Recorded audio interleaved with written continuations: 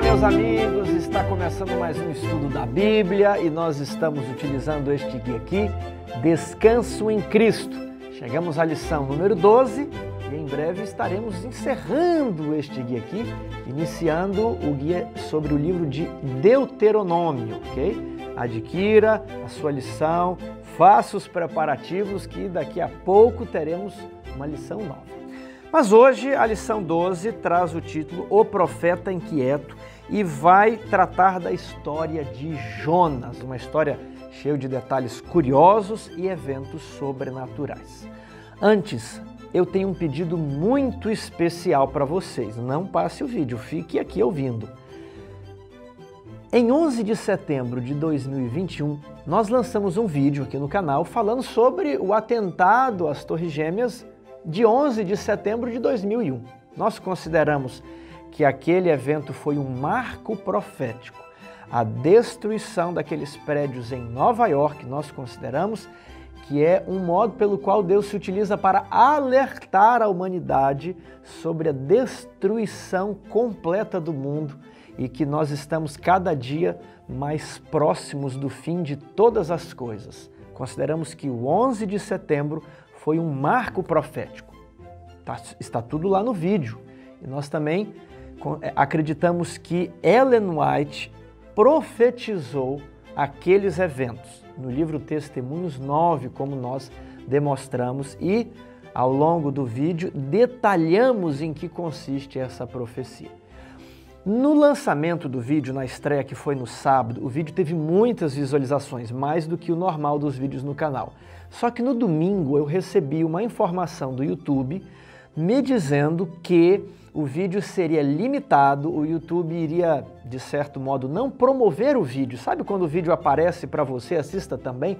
Isso não iria acontecer, ele iria limitar a divulgação do vídeo por algum motivo. Eu não entendi o que. Não, não é questão de direitos autorais, eu não cometi nenhuma infração desse tipo, mas eu acredito que seja o tema. Agora, eu considero aquele vídeo muito importante.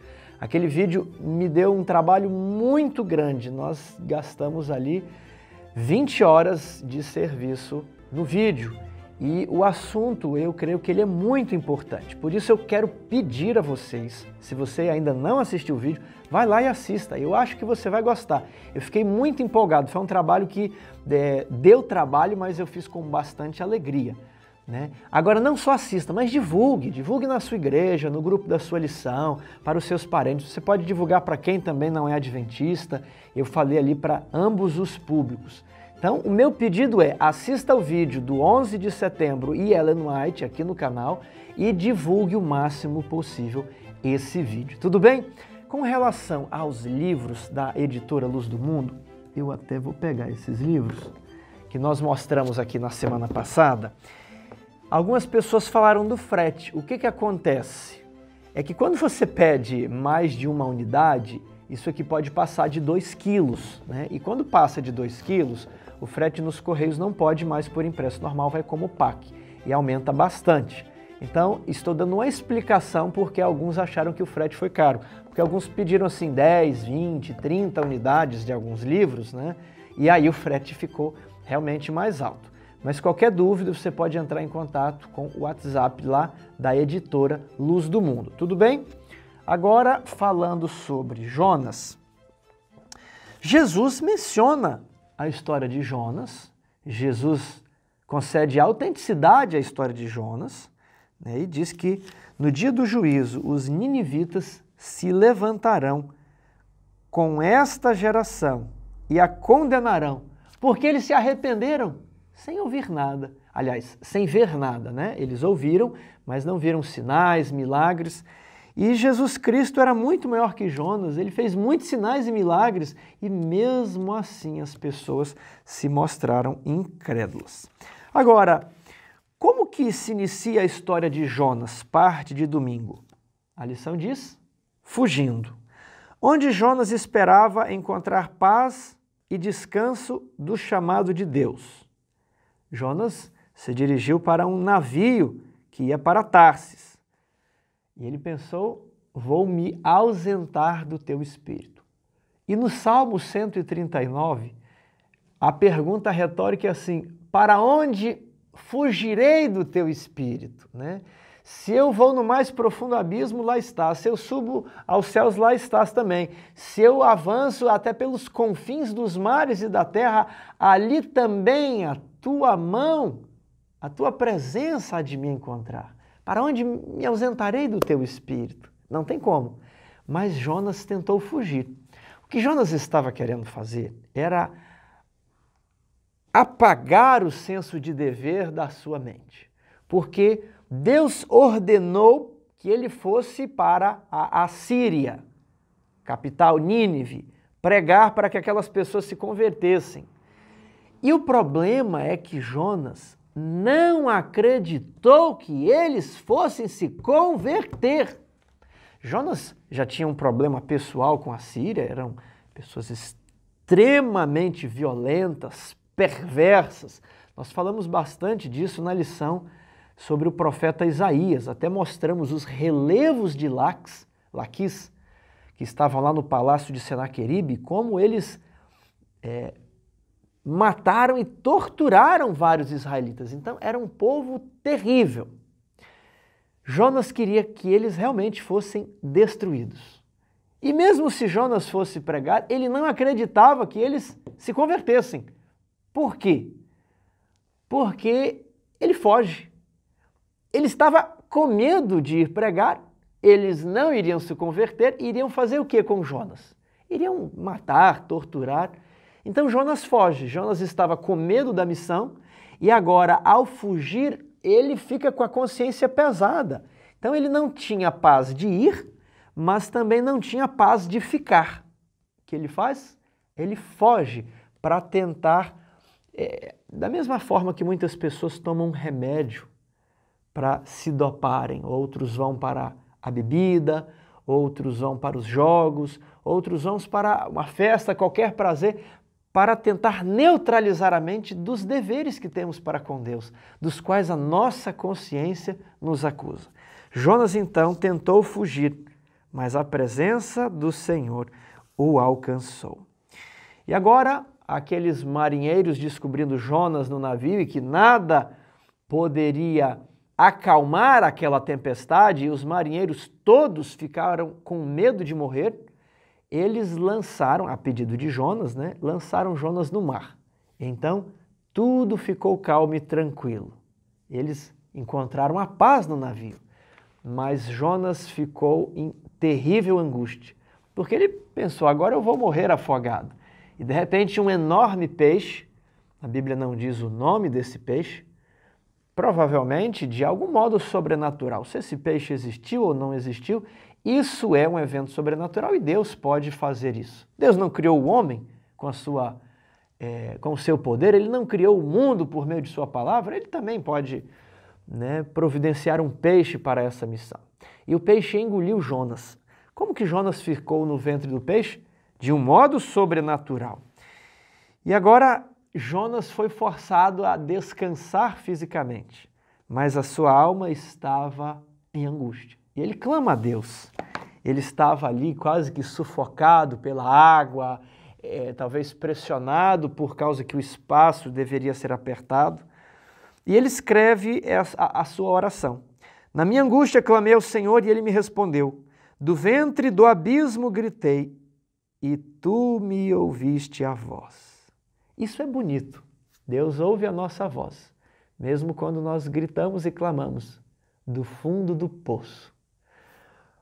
O momento em que você não sente nenhuma vontade de orar, aquele momento é a hora em que você mais precisa de se ajoelhar e clamar a Deus. Por favor, Senhor, me socorre. Pois me lançaste no profundo, no coração dos mares, e a corrente das águas me cercou. Todas as tuas ondas e as tuas vagas, vagas são ondas, passaram por cima de mim. Então disse: Lançado estou de diante dos teus olhos, tornarei porventura a ver o teu santo templo. Terá Deus misericórdia de me permitir mais um dia de vida, mais uma oportunidade, mais uma segunda chance. E ele termina aqui o seu poema dizendo: Eu oferecerei um sacrifício. pagarei os meus votos. Ao Senhor pertence a salvação. Se Deus permitir, tornarei ao seu ao teu santo templo, oferecerei os meus sacrifícios. E obviamente Jonas se lembrava de que Deus estava no seu santuário lá no céu. O Senhor está em seu santo templo. Cale-se diante dele toda a terra. Ao Senhor pertence a salvação. Falou, pois, o Senhor ao peixe, e este vomitou Jonas na terra. Ao que sabemos, Nínive não ficava é, com divisa para o mar Mediterrâneo. Né? Então Jonas ainda fez alguma caminhada até a cidade de Nínive, que ficava lá próximo o rio Eufrates.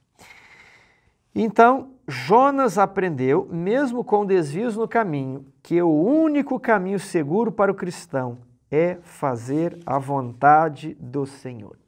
Lendo o livro Confissões de Agostinho, ele diz: Senhor, obrigado porque, quando me desviei, o Senhor fez com que os desejos carnais se tornassem amargos. Para que, Senhor?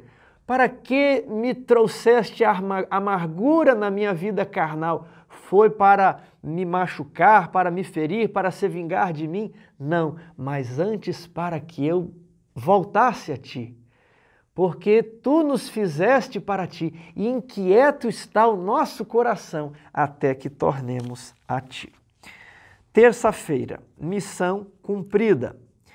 Nínive era muito maior que qualquer cidade de Israel. Eram necessários três dias para percorrê-la.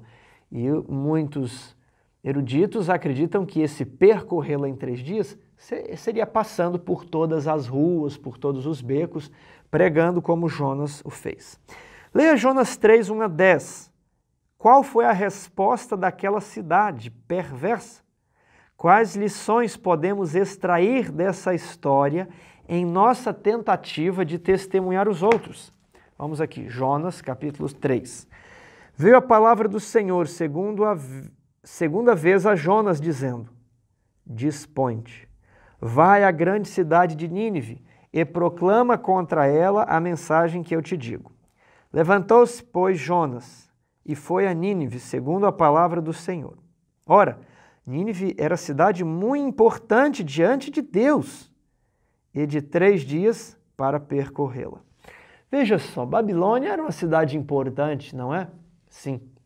Deus enviou Daniel, que estava ali ao lado dos reis de Babilônia, e Deus operou muitos milagres à vista de Nabucodonosor. Depois, havia homens santos no palácio dos persas. Temos a história da rainha Esther, temos Esdras, temos Neemias. Depois, Alexandre o Grande, ele se encontra com o sumo sacerdote em Jerusalém, que lhe explica o livro do profeta Daniel. Depois, Paulo, ele é enviado a Roma, o prisioneiro em Cristo, e ao escrever as igrejas, ele diz assim: Os da casa de César vos saúdam. O evangelho está penetrando na casa de César. Agora, será que nas grandes cidades que dominam sobre o mundo, não temos homens fiéis ali ao lado dos governantes? Será que essas cidades não são muito importantes para Deus, como Nínive também era? Será que Washington não recebe os cuidados especiais de Deus, assim como Nínive era objeto de seu terno cuidado? Jonas 3,4 Começou Jonas a percorrer a cidade, caminho de um dia, e pregava e dizia: Ainda 40 dias, e Nínive será subvertida. Os ninivitas creram em Deus e proclamaram jejum e vestiram-se de pano de saco, desde o maior até o menor.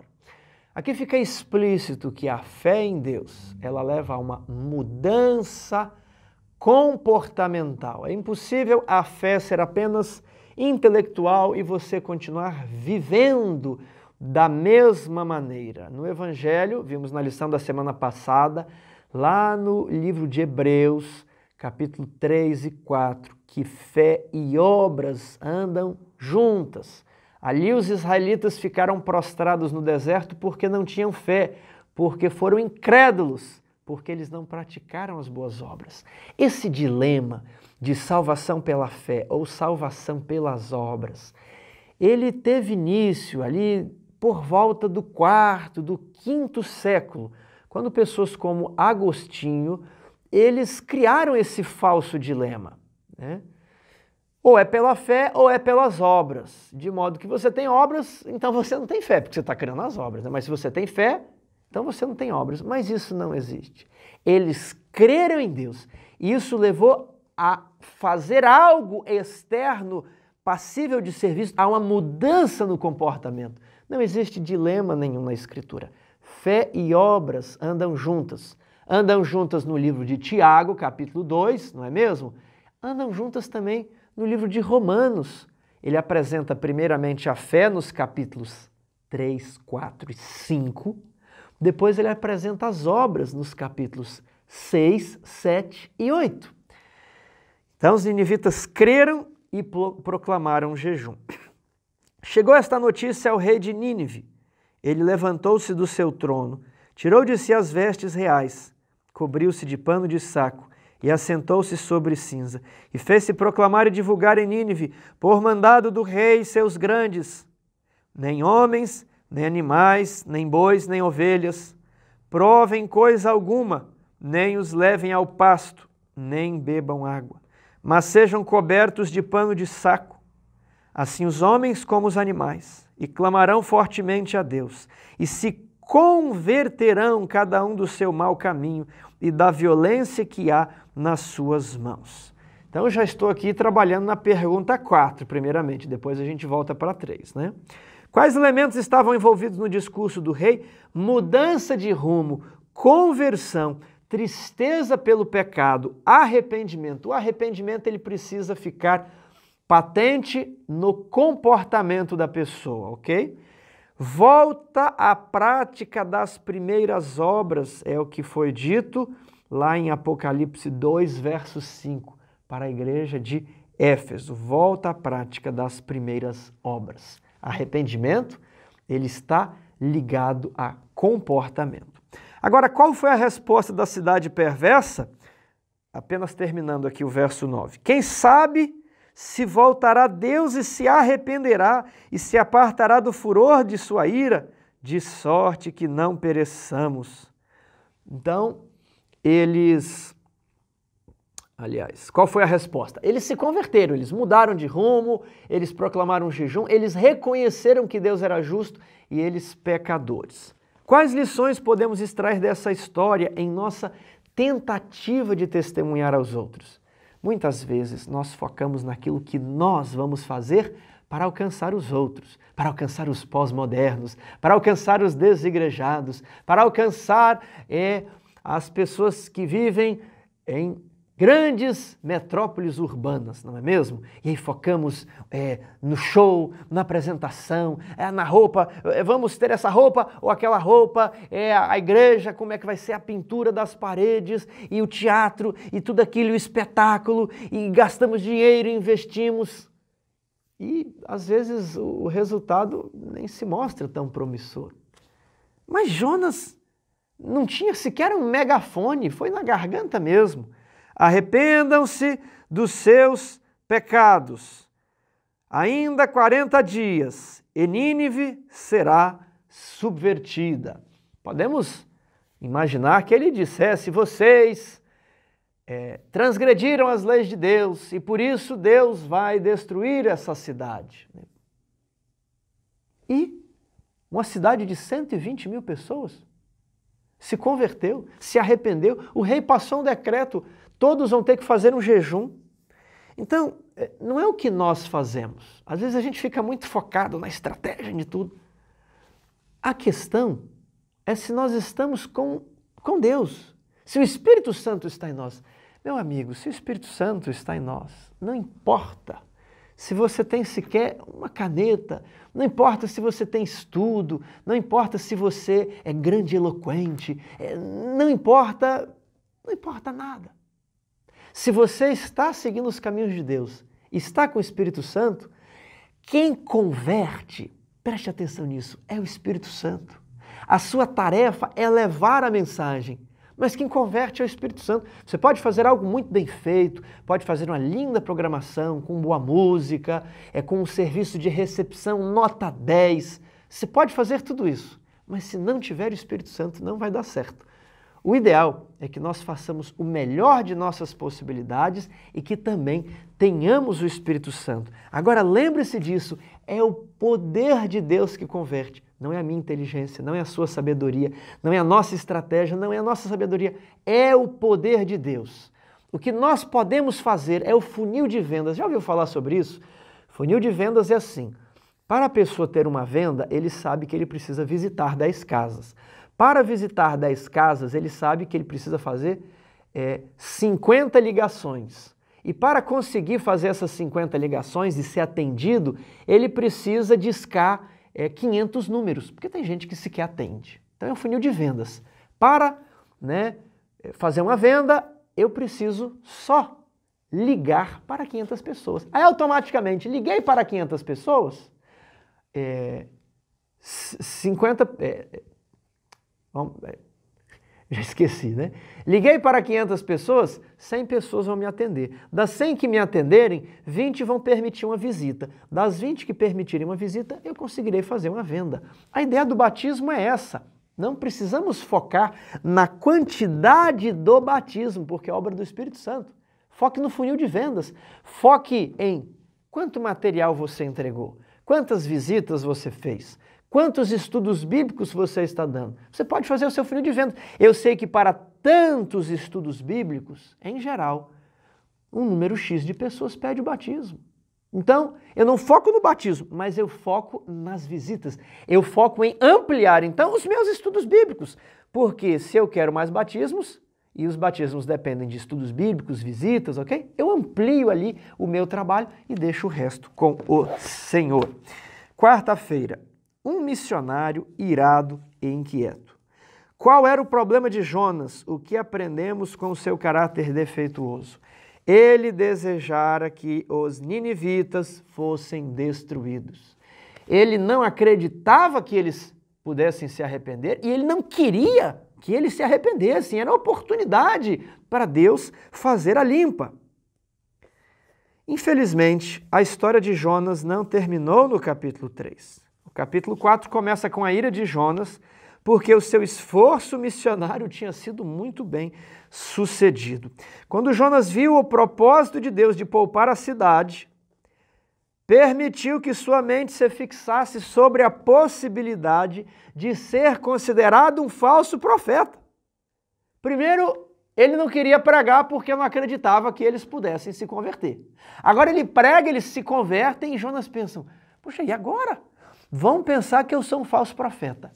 Jonas estava inquieto, porque as suas afeições estavam concentradas nele mesmo. E aqui que está o motivo por que ficamos ansiosos, inquietos e às vezes depressivos, porque pensamos em nós. Ele ficou inquieto porque não aceitou a missão e não queria ir para lá porque estava com medo dele morrer. Agora, às vezes, Deus pede que você entregue a sua vida. E depois, que ele vai para lá, prega e as pessoas se convertem, ele pensa novamente nele e na sua reputação. Serei considerado um falso profeta. Preocupado com sua reputação, ele perdeu de vista o valor infinitamente maior dos que viviam naquela cidade infame. Como esse relato se compara ao que aconteceu na história de Jonas? Jesus ele pediu para pousar em uma vila samaritana e as pessoas viram, olha, ele está indo para Jerusalém, não vamos deixar ele aqui não. E aí é, João e seu irmão pediram: Olha, Senhor, deixa a gente orar aqui para descer fogo do céu, vai queimar todo mundo. Quem esse povo pensa que é? Não querendo né, receber o Senhor. Quantas vezes nós não agimos assim? Você pensa que está falando com quem? Você sabe quem eu sou? Né? Esse é o nosso desejo de querer dizer que a gente é muita coisa. A gente não é nada a gente tem que se considerar por de menos que nada. Pode ser que ao julgarmos as outras pessoas, nós nos consideremos melhor do que eles. E nós temos que pensar como Davi, Senhor, o Senhor me tomou da manada de trás das ovelhas e me pôs para ser rei de Israel.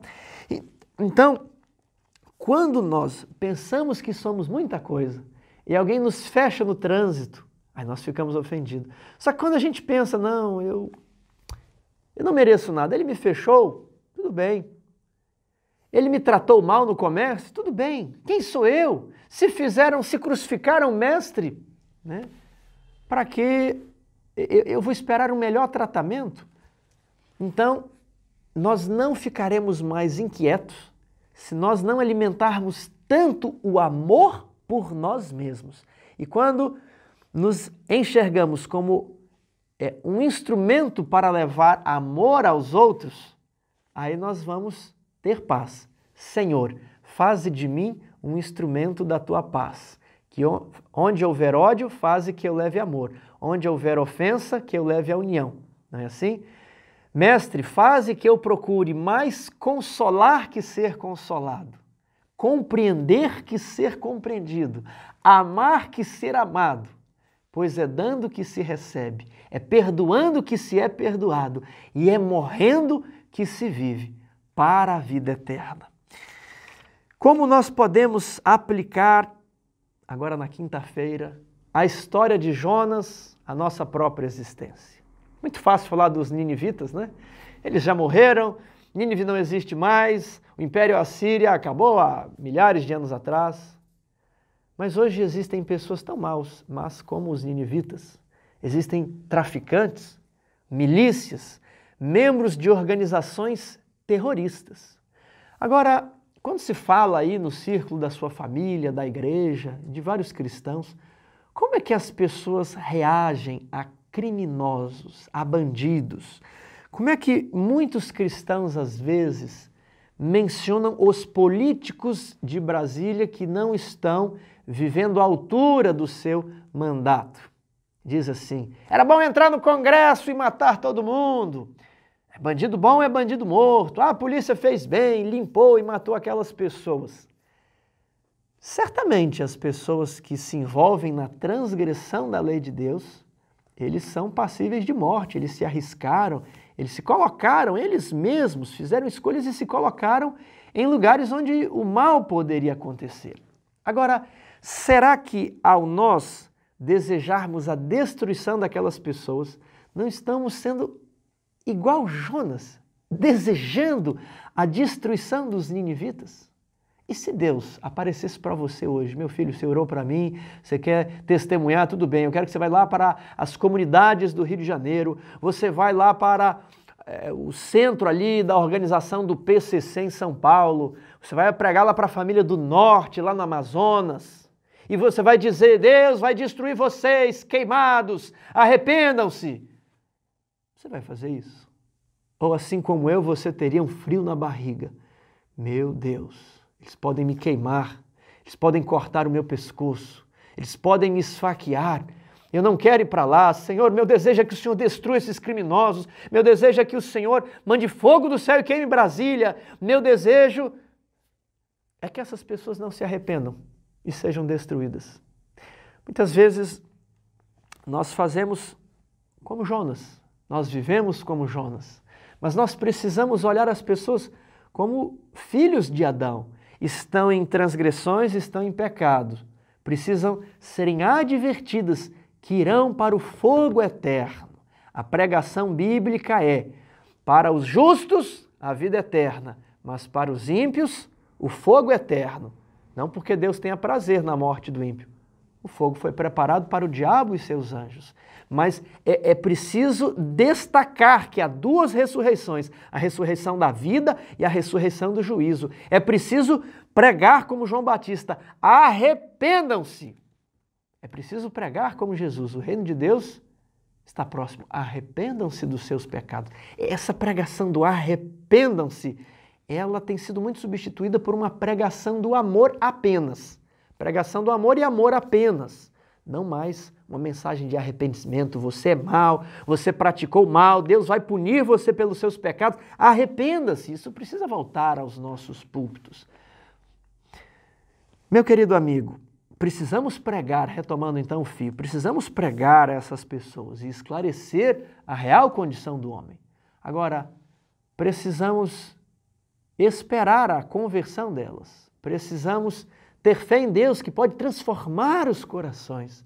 Ele não transformou o coração de um homem que era traficante de escravos Esse homem compôs uma das mais belas canções do cristianismo atual, intitulado Amazing Grace, ó oh, graça excelsa. Ó oh, graça excelsa que resgatou um pária como eu. Ela também pode resgatar as pessoas que simbolizam o pior que existe no ser humano. Leia o livro de Judas, como podemos nos manter no amor de Deus. Vamos ler aqui então Judas, capítulo, aliás, é um capítulo único, versos 20 a 24.